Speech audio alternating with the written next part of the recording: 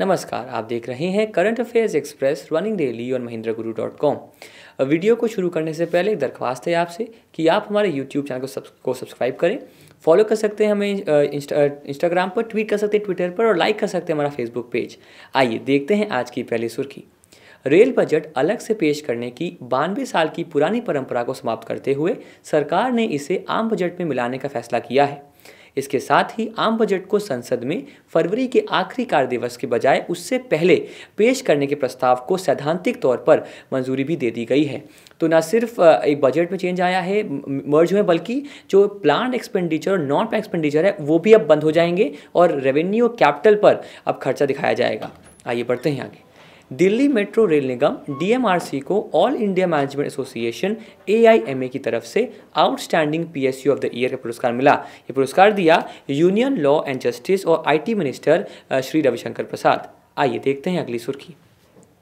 सरकार ने फ्रांस के साथ 36 लड़ाकू विमानों की खरीद के के बहुप्रतीक्षित सौदे को मंजूरी प्रदान की, जिस पर करीब 7.878 अरब यूरो की लागत लगी, जो जो जेट है उसका नाम है रफाइले आइए बढ़ते हैं आगे। रूस ने प्राइमोस्की क्षेत्र में भारतीय सेना के साथ 10 दिन का संयुक्त युद्धाभ्यास इंद्र 2016 शुरू किया है। ये इस साल शुरू हुआ है और हर साल इसको जारी रखने की बात भी कही गई है। अगली सुर्खी। संयुक्त राष्ट्र की व्यापार शाखा U N C T A D UNCTAD, या फिर United Nations conference on trade and development ने चीन के अरबपति जैक मा को युवाओं की उद्यमिता एवं लघु व्यवसाय पर विशेष सलाहकार नियुक्त किया है। गौरतलब है कि जो जैक मा है, वो अली बाबा के फाउंडर और एग्जीक्यूटिव चेयरमैन भी हैं। अगली सुर्खी।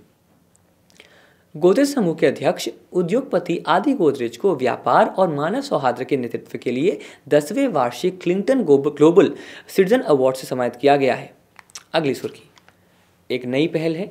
कोटक महिंद्रा बैंक ने कोटक नाव के लॉन्च की घोषणा की है और इसके साथ ही ये मोबाइल पर डिजिटल अकाउंट खोलने की प्रक्रिया शुरू करने वाला भारत का पहला बैंक बनेगा। अभी इस पर सिर्फ़ जीफी अकाउंट बनेंगे जो कोटक का एक प्रोडक्ट है। इस पर अभी सेविंग्स अकाउंट की बात पर हामी भरी गई है, पर वो एक फेस्ड मैनर में शुरू किया जाएगा। अब बारी हमारे सवालों की इन हेडलाइंस पर। केंद्रीय मंत्रिमंडल ने नीति आयोग समिति की सिफारिशों पर रेल बजट और आम बजट को विलय करने का निर्णय लिया है। यह समिति किसके नेतृत्व में होगी? या थी अरविंद पनगड़िया, विवेक देवरॉय, पी के सारस्वत, रमेश चंद्र या अमिताभ कांत। सभी संबंधित हैं एक तरह से नीति आयोग से, पर उत्तर यहाँ जो है, वो है जो मेंबर हैं नीति आयोग के विवेक देवरॉय। अगले सवाल। निम्न में से किसे इस वर्ष ऑल इंडिया मैनेजमेंट एसोसिएशन द्वारा सर्वश्रेष्ठ पीएसयू का पुरस्कार मिला है? डीएमआरसी, एनटीपीसी, गेल, सेल या ओएनजीसी? उत्तर है sir, Delhi metro rail corporation, जो कि है विकल्प एक जो है डीएमआरसी।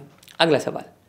किस देश के साथ भारत सात हज़ार आठ सौ अठहत्तर अरब अरब यूरो की लागत से छत्तीस रफाले लड़ाकू जेट विमानों को खरीदने के लिए सौदे को मंजूरी दे दी है? रूस संयुक्त राज्य अमेरिका, फ्रांस इसराइल या फिर कनाडा? उत्तर है सर विकल्प तीन, जो कि है फ्रांस। अगला सवाल।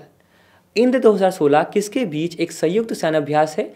भारत और फ्रांस, भारत और श्रीलंका, भारत और चीन, भारत और अमेरिका या भारत और रूस? उत्तर है सर विकल्प पाँच, जो कि है भारत और रूस। अगला सवाल।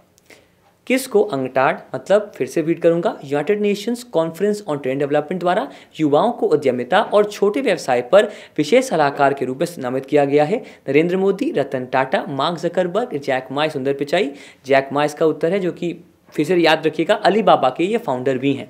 विकल्प चार, और साथ में जो सस्टेनेबल डेवलपमेंट गोल्स की एडवोकेट की भूमिका थी यूएन में वह भी इनको दी गई है, जो कि है जैक मा। अगला सवाल।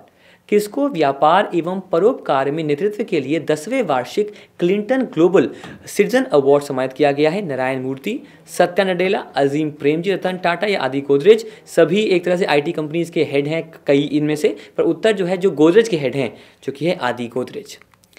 अगला सवाल।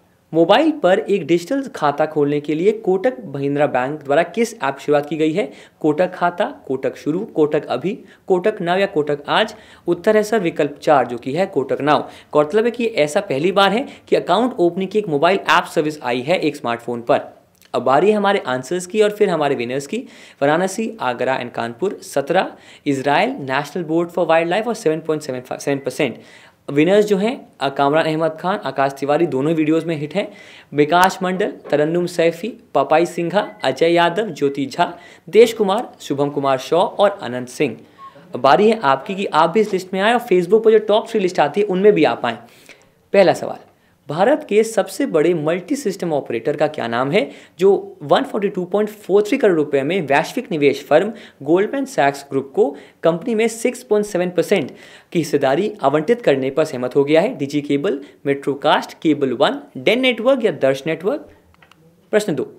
निम्न में से किसने विशाखापत्तनम और चेन्नई के बीच भारत के पहले तटीय औद्योगिक गलियारे के निर्माण के लिए 631 मिलियन डॉलर की मंजूरी दे दी है? एशिया विकास बैंक, अंतर्राष्ट्रीय मुद्रा कोष विश्व बैंक, न्यू डेवलपमेंट बैंक या एशियाई इन्वेस्टमेंट एंड इंफ्रास्ट्रक्चर बैंक?